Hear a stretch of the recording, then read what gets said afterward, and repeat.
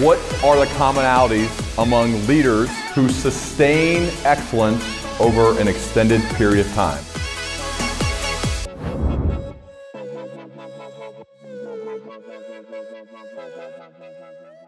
All right, Joe. It's great to be with you today here on the Learning Leader Show. Welcome.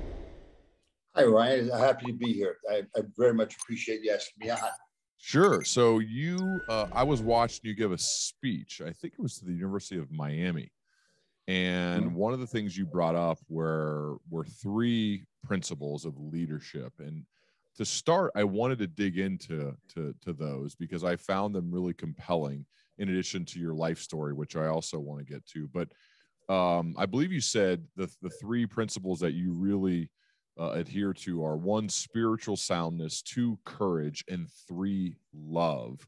Could we yes. dig into each of those three? I think in the speech you focused on love the most, but I'm happy to go whichever one you are most um, curious about and want to talk about. But I'd like to hit those three since it seems like they're important to you. Uh, they are, Ryan, and I'm happy to handle that however you want to. So the background behind that is um, my very first head high school job, which is Archmere Academy, Claymont, Delaware. I got when I was 22. I got I'd already been coaching three years while I was in college, and I was fortunate enough to get this job. Had I not gotten that job, I would have tried to go to Wall Street. And uh, by the way, Joe Biden graduated from Archmere and actually played football there. So I thought about what what is this drives me to really want to coach? What is it? And it's got to be more than the X's and O's. And I said it's got to have something to do with the impact I'm going to have on my guys. And you uh, how do you help a boy really become a man? You know, these are the high school level guys. Same thing I'd say for college. And I said, there's got to be something to that. So in my first high school play, this is a written. And my first high school playbook, this was 1971. Uh, it said, we're going to have a program it's about, about becoming men. Uh, but it's not some tough, tough macho guy, a real man. And actually, I raised my daughters on this. And this was the same standard I've had in my personal life and in my professional life in football on Wall Street, back to football. Uh, and it's held up pretty well for me.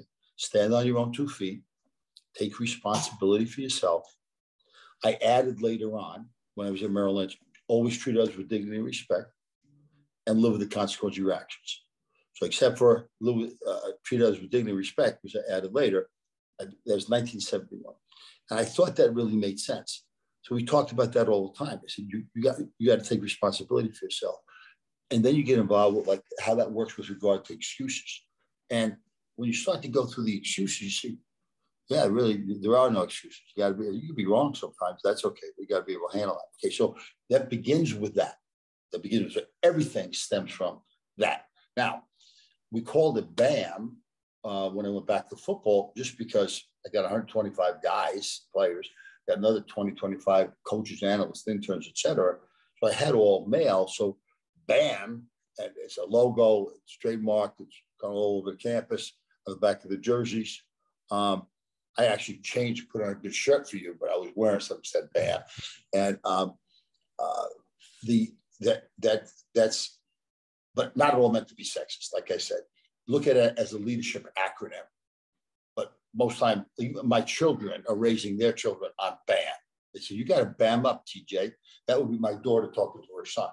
And uh, so, okay, so with that as a background, then the three the three principles within that is spiritual soundness, courage, and love. So that's the background, but everything stems from BAM. And what does BAM so stand for? Be a man. Oh, yeah, yeah, we missed that. that. That's why I referenced that it's not sexist. It's, look at his leadership background. Like be a man, a real man is somebody that does it. A real woman, a real leader, somebody that does that. What is what is courage like? What does it mean to be courageous in your mind? It means you have the guts to do what you believe is really the right thing. So even if even if um, uh, even if it may not be to your advantage near term, even though uh, you know you may not get the promotion right away, even though uh, you may not get the reward, whatever that might be, a real man has the guts to do what they really believe is right. And then you can kind of get into examples of those. So, so one example, from, like one of the things that I talk to my players about a lot is I think the single greatest threat in the globe today is terrorism. So terrorism, uh, I, I want my, my teams, my people to understand what that really is, and where it began, how it began, how it gets funded, how they market, how they teach, how they recruit, blah blah blah. Um, so we've got hundreds of thousands. We've got we live in the greatest country in the world, right? But there are hundreds of thousands of people who would not hesitate to give up their lives because they think we're evil, and they their whole family may very well be rewarded afterwards.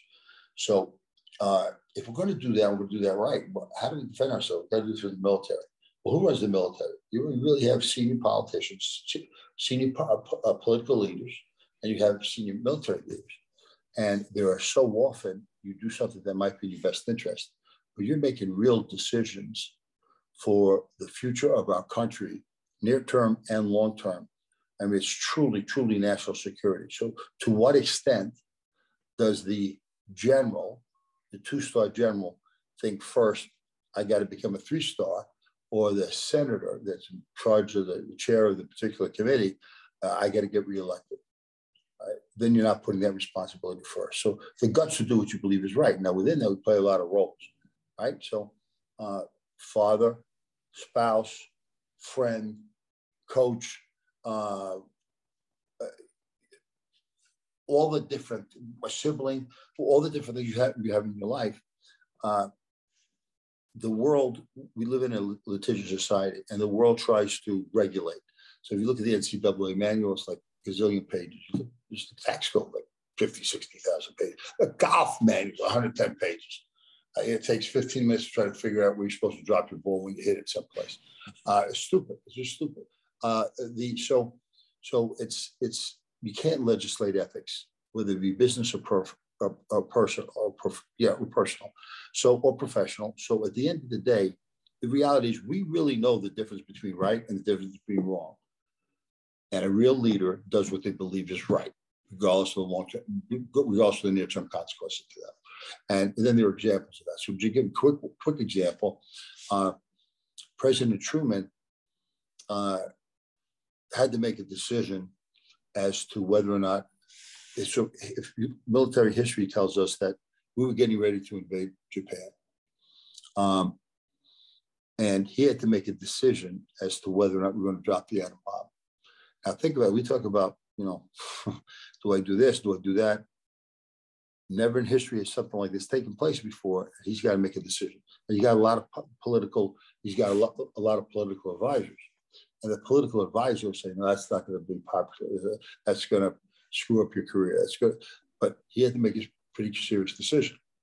So he makes the decision: we're going to drop the bomb.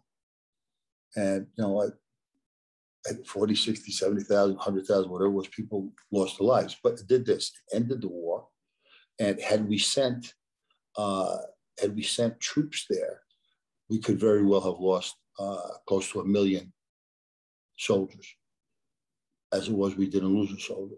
We didn't, we didn't lose one. So think about he making the decision and the stress and the pressure that he had to do what he believed is the right thing. So it's easy to reference examples as they start to pop up. But that's that's what courage is. So a real leader, right? Somebody really takes responsibility for himself uh, is responsible for other people.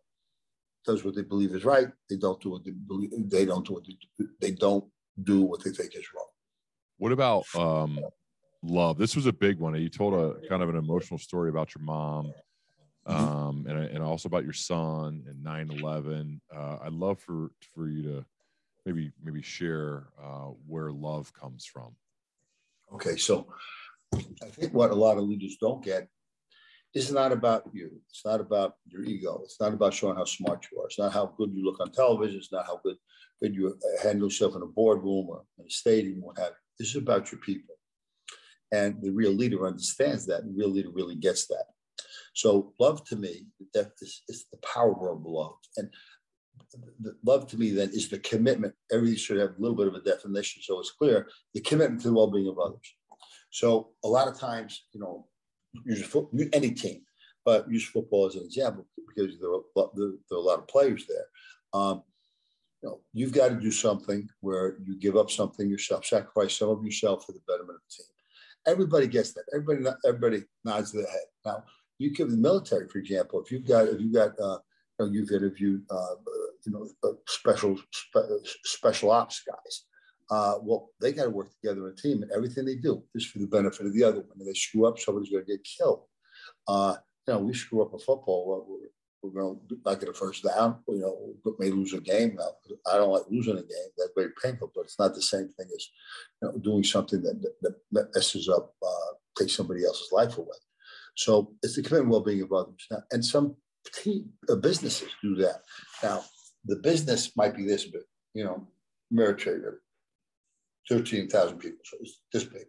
But what I'm looking for is each of the people that run the respective areas to recognize that this is about well-being of others. So I want everybody thinking that way. So in the business world, if your people believe, or football, anything, your people, your children, your people really, really believe that you have their best interest at heart. And you got to be confident, right? You got to be confident. Mm-hmm. But you know, they're going to lead you. They're going to want to be with you. They're going to want because they because they know that. Right. So where does that stem from? And then I go back. I think where people really feel this and see this, and then that same concept carries over to to the uh, commitment to the well-being of others. I think is in the family, and that's why I shared the story about my mom. And I shared the story about my son. I'm glad to do that again if you'd like me to. Yeah, please. Okay, so uh, my father was born in Italy, came here when he was 11, never spoke, uh, never finished eighth grade. Uh, so fruits and vegetables uh, over the span of his entire lifetime. I worked for him from the time I was 10 to the time I was 22. And, um, uh, and uh, my mom was born in Ireland, came here and never finished 10th grade. We lived in the Dyckman Street section of New York City, which then was very much a gang area. Uh, I was the oldest of five. Seven of us lived in a two bedroom bathroom apartment. I thought this was terrific. My father had his own business, you know, didn't have to worry about what we are going to eat. And uh, but it was, it was, it was a tough neighborhood. I began drinking when I was ten. It wasn't beneath me to steal, uh, uh, uh, get in a fight all the time, and um, but that was that was the only life that I that I knew. And we had a family meeting one time when I was 13. And I, I did recognize, did recognize that my mom was the only person from our family that come over here. So they got married in the Mount Carmel Parish in the Arthur Avenue section of the Bronx, about 10 blocks from Fordham University. It's the same neighborhood where they filmed the Bronx Tale. And when she walked down the aisle, she came here from Ireland. Nobody in her family or friends could afford to come over. There was not one person in the church that she knew from home or grew up with, but not one member of her family. So, and my father, uh, you know, he could be tough sometimes, and but he was working 14 hours a day, six days a week. He was focused on the store and we were needed to do. And I think with my mom, she had an incredible attitude, but without question, she unconditionally loved us. Uh, we were her life. Uh, again, remember, she had no family, but we, us. She's 100% responsible for us.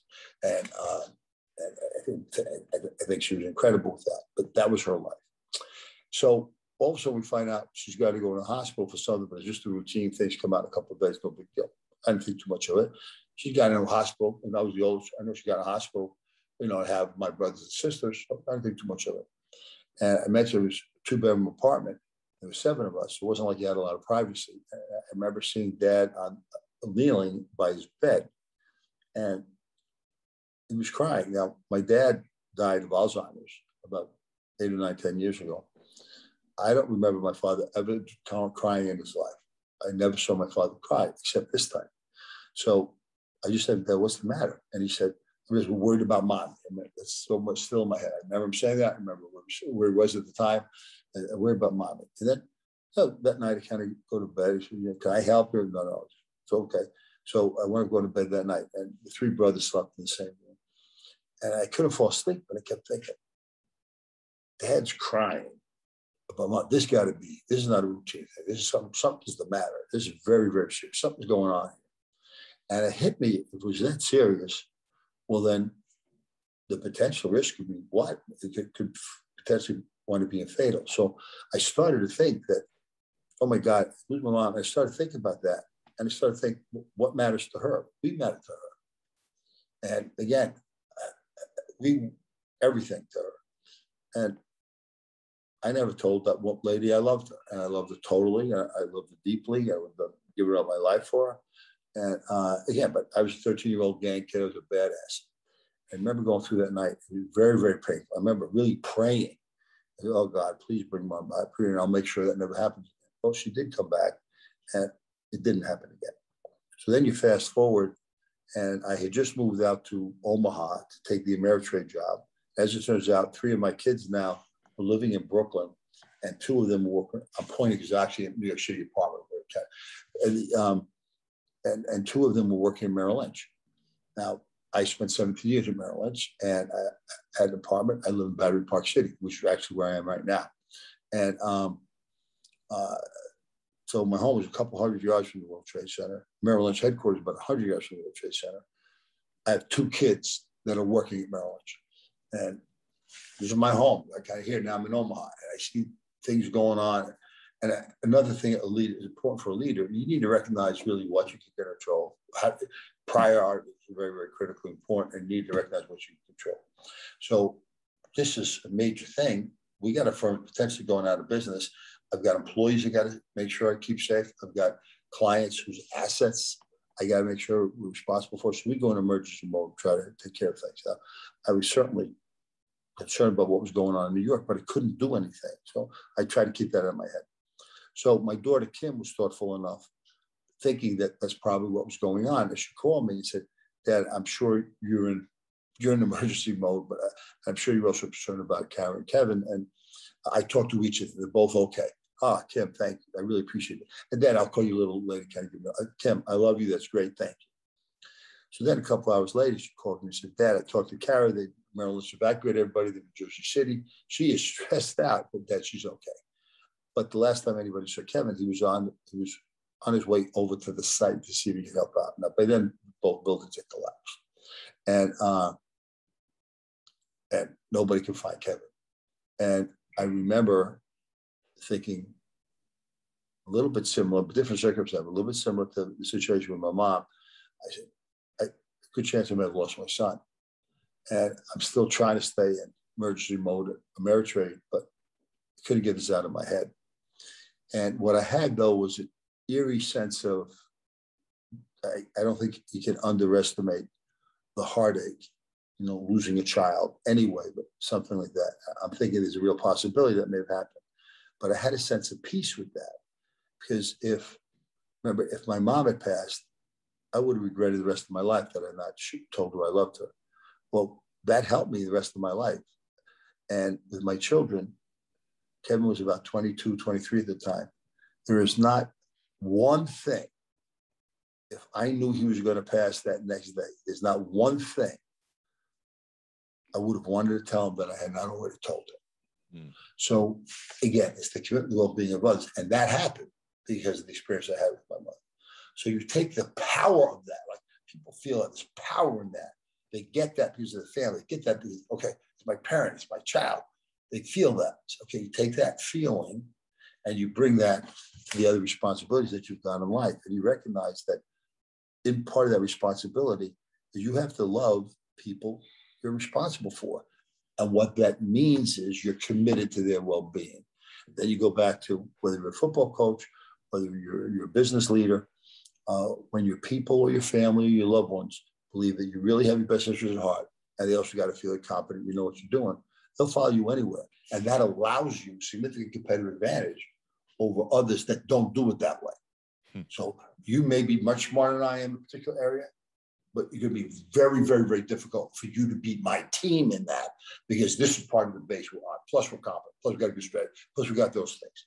Uh, and so that, has been a big part of. No, I, I um, really appreciate you sharing, especially the personal stories. Um, when it comes to uh, your career, it's it's pretty remarkable. Uh, everything you. that you've done and that you're currently doing whenever someone gets a role like uh, to be the CEO of a giant company like you've earned, I'm always curious about the path and what like seminal moments or inflection points along that path that you could have went left or right and maybe you chose one thing versus something else and because of a series of choices and a series of, of, of behaviors by you you then become the ceo of td ameritrade. Can you can you share maybe whether it's one or two of those moments along the way that I think eventually catapulted you to getting a job that is is very very few people in the world have a job like that. Like, how did that happen?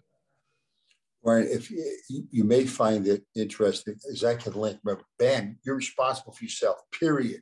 You're responsible for yourself. So, um, uh, and that comes up in everything that you do. And then the spiritual soundness, the courage thing, and the love things come up. So, uh, if I share with you, if I may, if I share with you kind of how I made the most significant decision I had, had to make in my life, I can reference the spiritual soundness piece, the courage piece, and the love piece. If that works. Good. Yeah. yeah, yeah. All right. So, all right. So, uh, I'm uh, I'm in high school. Uh, I told you I grew up in a gang area. Two of my very best friends that I was with every day in grammar school got killed in high school. One died of a drug overdose. The other was killed by the police robbing a liquor store. I would not have been with the guy with the drugs. But if I hadn't been playing high school football, I would have been with a guy robbing the liquor store. Not a maybe. I'm positive I would have done that. And these are guys are with every day. I, I, I went to Fordham Prep, which is old boys Catholic school in the Bronx. So that was very much out of my neighborhood, very different from my neighborhood. Plus, I did have I did have a good family structure. Not everybody in that neighborhood did. And my father has his own business. He expected when I was in school, I to be working in the food store. So um, uh, my goal was to play football and baseball in college. Instead, ultimately, my uh, girlfriend winds up getting pregnant, and uh, I feel responsible for that. So I got to give up sports, and I got to take care of my family. My father's advice to me was, "Well, don't go to college. You won't. You know, you got to take care of your family. So work with me at the food store." I felt I really had to go to college, and I really, really thought about it hard. Really kept thinking about it that I think got to do son, you're making a big mistake now. think of the situation I'm in at the time. Uh, I'm going to be a father. I'm going to be a husband. I'm thinking I got to go to college. There's no money. And my father's telling me it's a big, a big mistake. So I begin to Fordham uh, because I believe I had to do that. Now you'll see with all this connection in a second. So I putting my wife doing, I got to pay every dime my education. So my freshman year, I'm driving a truck for the post office, a yellow cab in New York City and working for my father in the food store. Probably not the most fun a college freshman has ever had. And it was also the first year of my life where I didn't have sports. So I'm going to Fordham University, was on the same campus as Fordham Prep, and I had a good career at Fordham Prep. They offered me a coaching job. And I thought that was great. So I love that. So for five months a year or four months a year, I'm coaching high school football. And the rest of the time, I'm working at my father's food store. I majored in economics. I was always intrigued by Wall Street not because it was in my family. You know, stock exchange and tell seemed exciting. I kind of liked economics. I could see where it could relate to business. And I thought, no, Wall Street's kind of where I want to go. And uh, that was the plan. But by the, my third season, it was my senior year in college, I really loved the coaching. Really, really, really loved it. And I chose that, that I thought that was the direction I needed to go. Now, I was gonna, I would, I would pursue a career in coaching if I got a head job, head, head high school job. If not, we're gonna try to go to Wall Street, probably apply to 100 places. I'd become the first, youngest head coach in the history of the state of Delaware at Archmere Academy, where President Biden went. All right. I pursued that career. I want to be the head coach one day you know, major, major school. And it's going along pretty well. I write a book on football, pretty successful. Uh, and then I move on to the defensive coordinator at Dartmouth. And uh, in our, by then, uh, Dartmouth and Hanover, New Hampshire, pretty cold in the wintertime. By then, we have four kids, same, you know, high school sweetheart. We have four kids, and I'm in the middle of a staff meeting, and the sheriff from town comes in and needs to see me. And I think, oh my God, there's an accident. Somebody's badly hurt or dead. Uh, so my heart's kind of pounding. He says, Coach, I'm just really sorry. He has me divorce papers. Now, I can't afford to live independently, and I can't and still take care of my four children, my wife. So I get permission to move into a storage room by the football office. It had no heat. I could see my breath in the wintertime. It was cold in New Hampshire in wintertime. I lived there for two years. I still always wanted to be head coach, but I got to figure out, you know, I, I still got to take care of my family. So in January 1984, Ryan, Miami significantly, Miami upset Nebraska for the national championship huge upset. And uh, there's a little bit more of a story behind that, but to kind of get to the point, uh, they offered me an opportunity to go there and be their defensive coordinator. So in the 80s, Miami was it. Every one of those guys got major college jobs, NFL jobs. It was it. And they were the team. So I can go from defensive coordinator to the Ivy League, the defensive coordinator to the national championship team. I cannot have a better career path. It can't even come close. Uh, but back then, we didn't make much money. I'm going to live with Coral Gables. My kids are still going to live in Hanover, New Hampshire. And uh, a coach works seven days a week, 80 hours a week. Literally, you don't get a day, a day off for probably five months unless you have a bye week. Then maybe get one day. It's a, a tough grind. Then you've got to be on the road, you're recruiting, doing all those things. Toughest career decision I've ever made because the greatest career opportunity I've had in my entire life. That includes up until now. And, uh, and I turned it down. I turned it down because I didn't think I could do my job as a coach, but I couldn't live, live up to my responsibility as a father. So is this okay, Ryan? I'm going in the Yeah. right direction. Absolutely. Yeah, yeah, yeah. All right, all right. So, okay, so I'm gonna show you how it was all connected. Um, so what was the other thing that I really wanted to do? The other thing I really wanted to do was Wall Street. So I hustled as much as I possibly could. Ultimately, Merrill Lynch gave me an opportunity to put me in an institutional MBA training program. There were 26 of us. There were 25 MBAs from Harvard, Stanford, et cetera, and one football coach. And everybody says, this football guy, I didn't know how to spell the word bond. I didn't know what an equity was. And um, uh, I didn't even know how I was supposed to dress. Like senior guy took me off the floor one day. He said, "You got to get yourself a suit." I said, "I don't have enough money for a suit." He goes, "Find the money, steal the money, do what you got to do. Go to Alexander's in the Bronx, get yourself a suit." So I actually, bought myself a three-piece suit with two pairs of pants, and I had about three shirts and two, three different ties. I had that. Was all I had for a year and a half. That's what we wore every day. And um, so to get back to so, uh, so, uh, so I, I, the uh, it turned out pretty good at, at, at Merrill. Later on, most of those MBAs were working for me. I had a great run there. Couldn't be prouder of it. And we were a double A plus firm. We're a global name. Uh, it's, I had a great, I had a great career there. I was one, uh, one, of, one of our more senior executives in the world for us. And uh, the dot com bubble burst and very serious recession from March 2000, March 2003. A lot of firms that really struggled. Ameritrade's going out of business. I'd remarried in 1995. Uh, so this is around 2000. And um, bottom line is, I take the job and I move from New York City to Omaha, Nebraska. I get there, I really realize there's a significant chance I'm going to business. I was misled in a couple of things. And uh, that became a bit of a concern. Bottom line, we figured out, did a great job. In 2008, I stepped down and um, the board asked me to be chairman, which I'm very, very proud of. I was chairman for 11 years until we closed the uh, Schwab deal. And that's when I stepped down altogether from that. So I really think about that. All right, now, we had a 500% return for our shareholders in my last five years.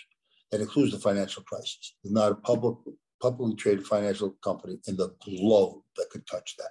Nobody, not Warren Buffett, uh, not JP Morgan, not Goldman Sachs, nobody. And we're a little old Ameritrade. If we were a college football program, I hate to say that we would have won the national championship. It wouldn't be Alabama win the national championship. It would have been, at the time, I'd say Wake Forest. With the season we had last year, yeah, it would have been Coastal Carolina winning the national championship.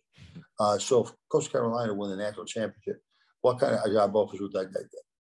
That's kind of where I was while the world was imploding. So uh, I had credible, credible offers, all sorts of different things. But I, I didn't step down for that reason. I stepped down because I thought there might be something else I want to do with my life, and I can't do that if I'm totally responsible and bam for Ameritrade and people there. Uh, then I get a call from a group of alumni at Yale telling me at the end of the two, 2008 season was chance the football job would be open, would it be interested? I said, guys, I haven't coached football for over 20 years. They said, but we've really spent some time looking at the skill sets college coach, head coach supposed to have. We think you not only have those, but you have competitive advantage. There's no one problem. What's that? 135 years college football. Nothing like this has ever happened. Uh, think about it. I, I, did.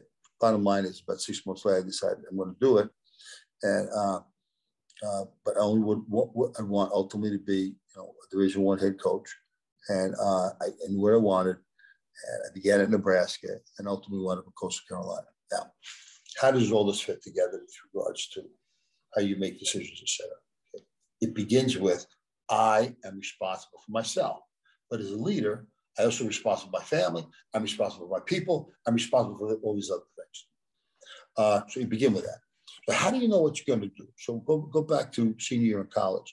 And I got to make it. I want to go to Wall Street. I'm willing to not even pursue that. I'm living in New York. Wall Street's in New York. And I thought at Archmere in the deep south, Delaware, I thought Delaware was the deep south. I never went like 10 miles outside of New York City. So I really spent a lot of time thinking about this. And I told you my first head high school playbook, I talked about the BAM. Under that, I said, this is built on spiritual soundness. I actually had four pillars then. Spiritual soundness, dedication, courage, and love. Eventually, over time, I get rid of dedication. Spiritual soundness, courage, love. How does that work here? So most people really don't know who they are. And they think you're only going to be happy if you feel good about yourself. How you feel good about yourself probably is the decisions that you make under stress. And you want most of them to be the right decision. All right. So one of those is career path because you got to spend a lot of time in that particular area. And if it's not something you enjoy, or not something you cut out for, you're not going to be happy. Uh, so if you don't feel productive, you're not going to be happy. So how do you how do you figure this out? Plus, I remember remember my father in the fruit store. I worked in the fruit store for 12 years, you know, and dad was not easy to work with or anyway. So that wasn't a whole lot of fun. So I felt I needed to do something that, that I, I, I love doing. That was the coach. Now, uh, the way you go about this, we tend to be a composite of the people around us. It's basic human nature. You want to be able to, uh, you know, uh, make people happy, make people like you. So you have a little different pers- perspective or persona uh, with your girlfriend versus your best friend versus a teammate versus a classmate versus your father versus your mother versus a cousin versus your sibling versus a teacher, etc. And you really don't know who you are. I, I, really do believe that most of us really don't. Think we do, but we don't. That's why we make a lot of bad decisions under stress, although we don't realize it at the time. So, spiritual soundness exercise is something that I went through. What I went through was I took a legal pad and I write down everything that was about me, everything I knew about me. Who am I really? What are my favorite colors? What kind of, at the time, I'm a father, I'm a husband. What kind of father? What kind of husband? Uh, uh, you know, how am I taking care of myself physically? What's my favorite colors? Uh, uh, what's my favorite music? I just keep writing, just keep writing, keep writing, keep writing, keep writing. And then I stepped away for, for a while. For a while. Then I went back to it. I I probably changed 25% of it. And I was being dead honest, but I said, I don't, I don't really love that type of music. I love type of music because that's what my girlfriend liked, you know, and I kind of wanted to, you know, show her I was cool. And I, I can't think this way because of my father, or this way. So what is it I like? I, then he's changing. Right? So you get to the point though where you really understand who you are. And that gives you peace of mind. And knowing who you are. Most people don't. So for me, you always got to find competitive advantage. This is competitive advantage. Most people don't know who they who they are. So I do. And happiness is going to be decided by the decisions you can make under stress. Knowing who you are, increase the probability you're going to make the right decision. So let's get back to what am I going to do now? I'm a senior in high school, senior in college. I'm a father, I'm a husband. I got to pick the right career path. It's got to be something I think I care about. So, what are the skill sets to go to Wall Street? What are the skill sets? Right, never got that far. What are the skill sets to be a coach? I wrote them all down. I spent time doing that, but I knew my skill sets, and I matched my skill sets to those skill sets. I said, I got those skill sets, and then I decided, well, is this something I really love doing? The answer was yes. So I wound up picking my career path as a senior based on what I just did. That was just my spiritual soundness exercise. And I picked my career path to go to coaching.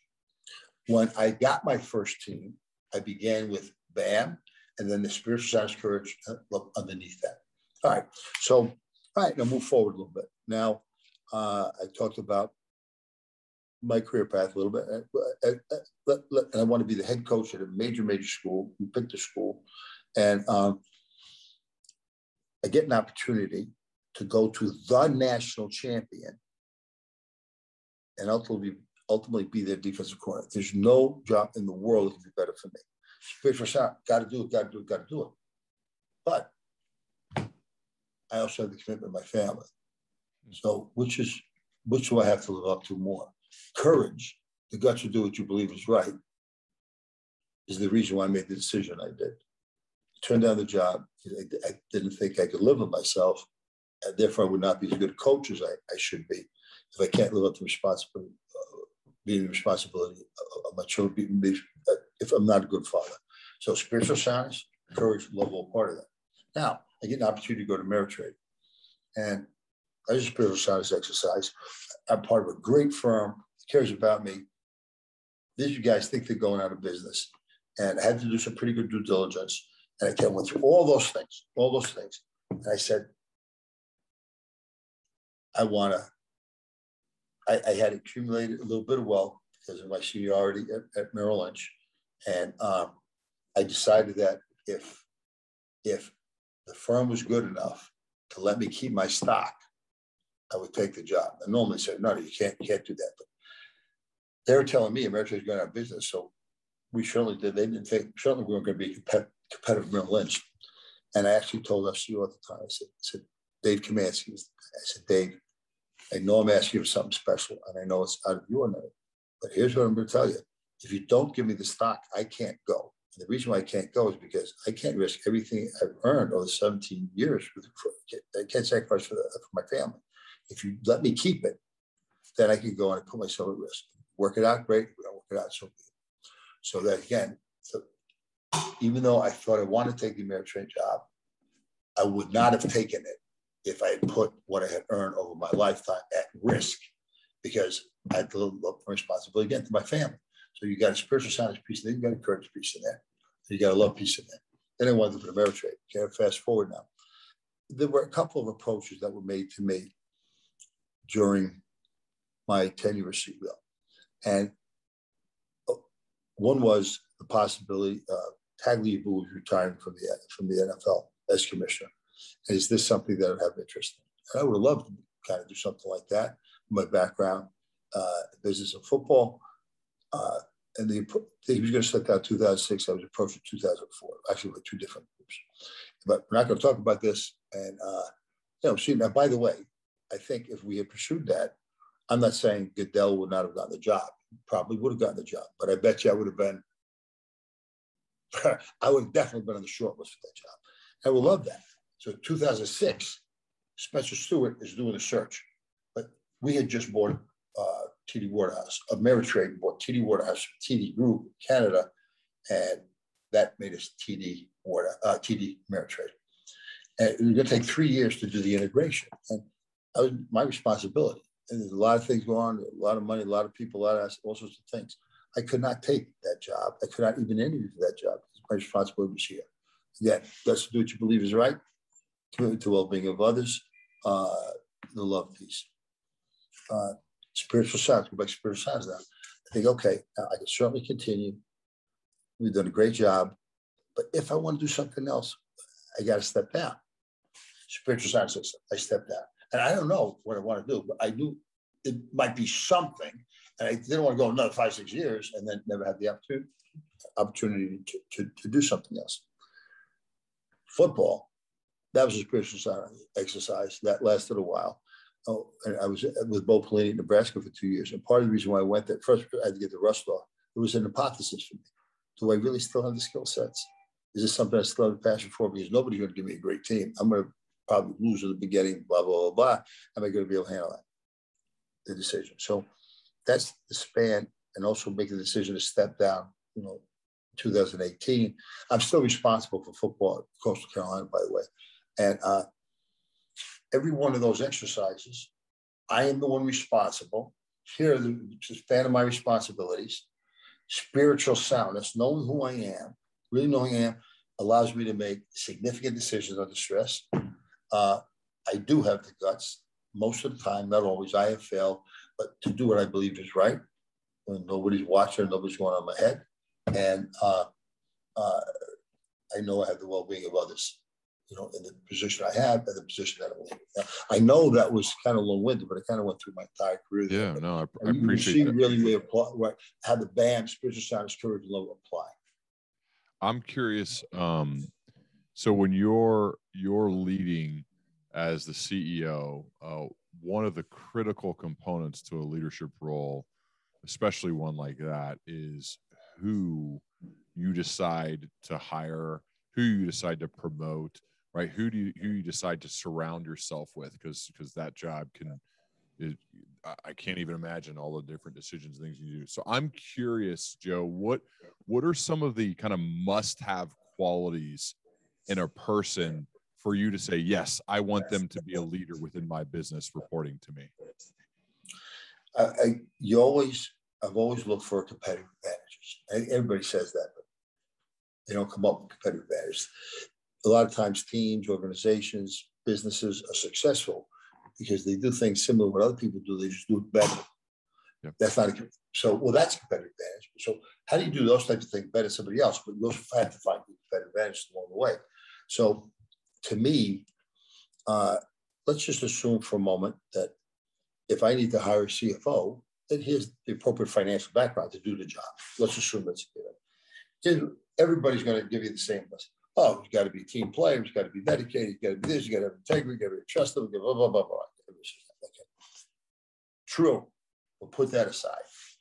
Um, more than anything else, I want the person. I want. I have to have a feeling. I have to know how he handle or she handles herself under stress, hmm. because that's the criticality and that's the differentiator. I got to know that. I got to figure that out. Um, uh, so that'd be one thing. Now, in the business world, I never used the term BAM, but I use the term. I, I expect you to take full responsibility with that, that there are no excuses. There's no, you can't have excuses. Um, we can talk about that too in a little bit if you want to. We have some pretty good stories there, but you can't, can't make excuses. And this is your responsibility. You got to live with the consequences of your actions. You're responsible for these people. So without saying BAM, I, I expect you to embrace that standard. Mm-hmm. Embrace the standard. Because if you don't, if you don't, your job's going to be on the line. So mm-hmm. I'm assuming they have the skill sets. Do they have, do I believe they will really truly take responsibility and live up to that? Again, have the best service of the people, everything associated with BAM.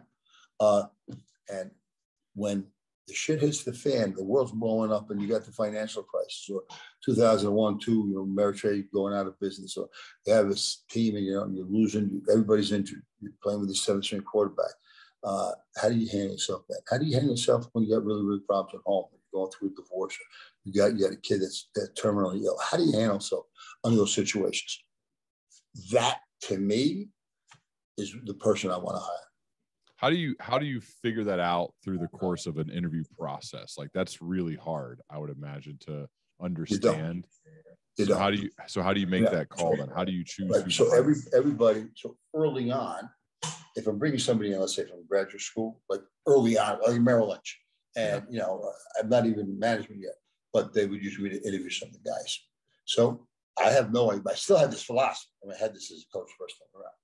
So I want to be, begin. And they don't have any background. You know, they're all like hotshot students. Some of them may have been athletes. But they're all coming from Harvard, Wharton, wherever it might be, and um, and the street recruits them. And the recruiting, they kiss their ass, especially if they really, really want them. So they come into my office and I do everything I can to make it really uncomfortable. So I don't get up. Yeah, I probably think he's some douchebag, but that's okay. I don't get up. and, hey, hold on a minute. And I make them do something else more important. I said, yeah, sit, sit down, sit down. And they said, hold on a second, I'm not finished this. And uh, then I think every one time I remember picking up the phone and talking to my assistant, my secretary. I said, I said, by the way, uh, I'm interviewing with what's your name? What's your name? Yeah, I'm interviewing here with John. I said, but if these two people call, interrupt right away because that's more important. I said, okay, well, John, tell you what, I've already looked at your resume. So I know what's on your resume. I know what you've done. I've read it two times. And actually, I was kidding. I do know your name. I said, so, but we can hire anybody we want to. Uh, Merrill Lynch, Ameritrade, whether it's true or not, this is where I'm beginning. Coastal Carolina, uh, anybody we want to. Anybody we want to. I want you to tell me why we should hire you. That's it. That's all I want to know. Hmm. So the person, you first of all, the person uncomfortable because I made them uncomfortable. And uh, then how do they handle themselves? Almost always they start to talk about their resume. oh, you know, I worked really hard and I did this and I got into Harvard. I said, whoa, whoa, whoa, whoa, hold it. I said, I didn't want to hear this. I said, I know that. I said, you got to tell me. Take, see, here's your resume. I read it. It's over there. Okay, don't tell me anything on the resume. Tell me what we should hire. And the, the person that I want to see from them that they really thought this through, spiritual status, even though they may have not gone through the exercise, but they really understand kind of what they like. And I do have these skill sets, and these are the skill sets you need to be successful in this role. I got those skills. That's what I'm looking for this guy to do or the lady to do but I'm looking for, I know they're uncomfortable and I want to see how they handle themselves. All right. So that's one. So let's say we get through that. I don't make that easy. As I see, see, don't tell me, don't tell me again about what was on your resume. I'm going to ask you, I'm going to end the interview right away. So I put them under stress. And the second thing I asked them, what is the most difficult thing you've ever gone through in your life? And how'd you handle it? So I got some answers were like, you know, wow, they moved me uh, someone sounded like that in me growing up. I said, like, "Ooh, that's stressful." I remember one guy said, "Oh, you know, when I was uh, when I was uh, when I was trying to get into the fraternity and all this thing, and I said, okay, this guy's off the list. Don't even have me. So like, that's the biggest, most stress you've had in your life is getting into fraternity. I said, okay, well, you know, that's not going to work. So, um, so at the end of the, whether I think the kid's good or not, whether the guy's good or the lady's good or not, you know, then I kind of like embrace them a little bit. I, I shake. I said, I, I, intentionally try to, you know, make it comfortable for you because I think to be successful in this career path, you got to be able to handle yourself under stress. That was the reason why I did that. But I, I had, a great resume, had a great future, blah, blah, good luck. And then, so that's how I handle there. Now let's move forward. Now I'm handling uh, a coach, a seasoned coach, I'm handling uh, an executive.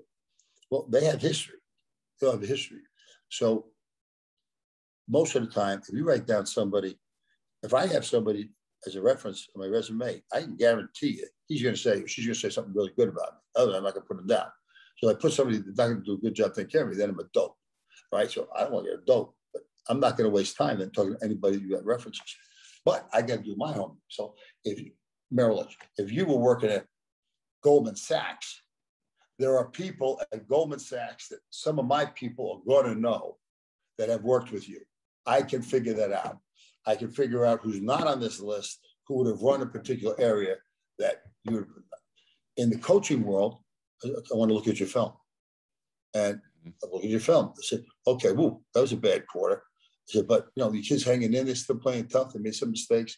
Or one guy makes a mistake, and then he kind of she kind of takes two plays off.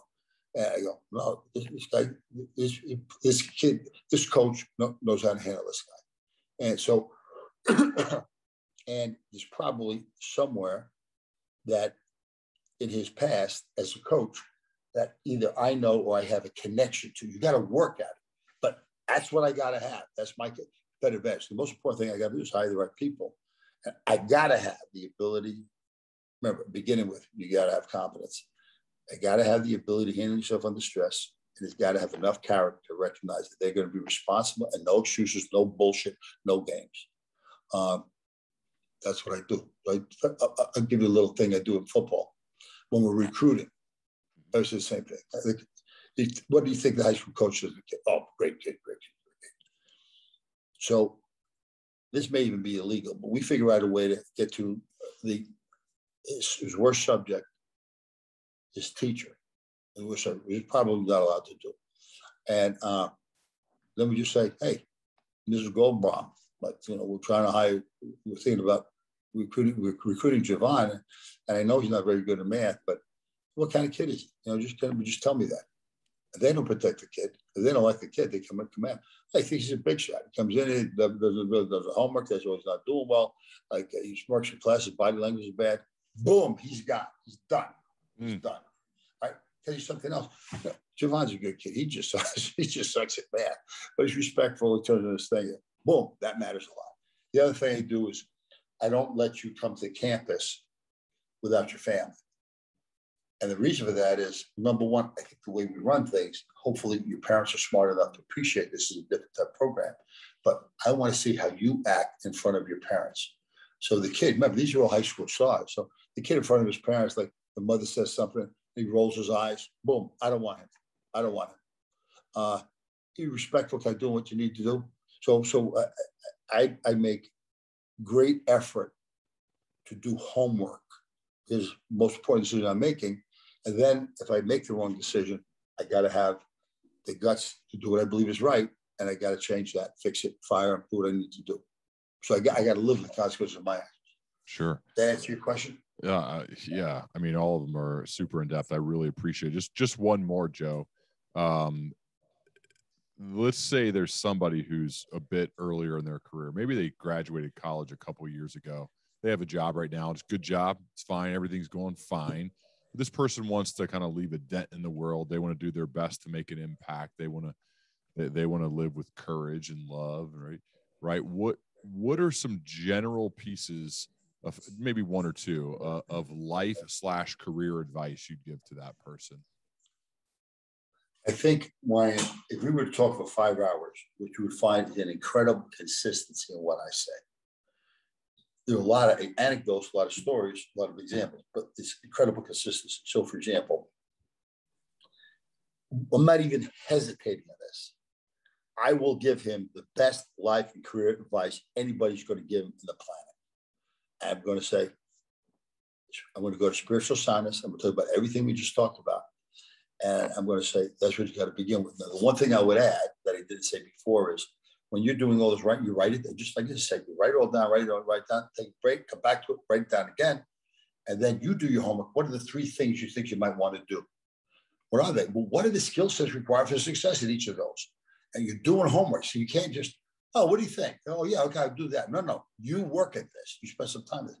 The one thing I didn't say before, though, in this entire spiritual science exercise, you can never show that to anybody, ever, ever. Because this is about you God. It's about examination of conscience, you looking in the mirror. But the first time, and this is what happens a lot still, even if you would say, don't do this, you turn around, you ask somebody, you look, subconsciously looking for their approval. Bang, kind of goes out the window. This is about you trying to get to know exactly who you are. Then you line up the skill sets. Do you have them? No? Bad, bad. You have them? Hmm. Yes area you really think you'd be passionate about? Because if you're not passionate about it, it's going to be a job. Job's can be a real drag. If you are passionate about it, you're going to be ready to take on the challenges because you know you have the skill sets. You've already done your homework. You know the skills are required for success. So you have those, and it's something something that, that you care about. It takes work. It's not somebody's going to tell you. It's not a counselor. You got to figure that out. But a hundred percent, that's the right. Know it's over decades. A hundred percent that's the right advice. Most of the time, they go through the motions. If you really do take this seriously, it's a life changer. For me, I'd say the concept of BAM with spiritual soundness has been the differentiator for me in my life. Wow.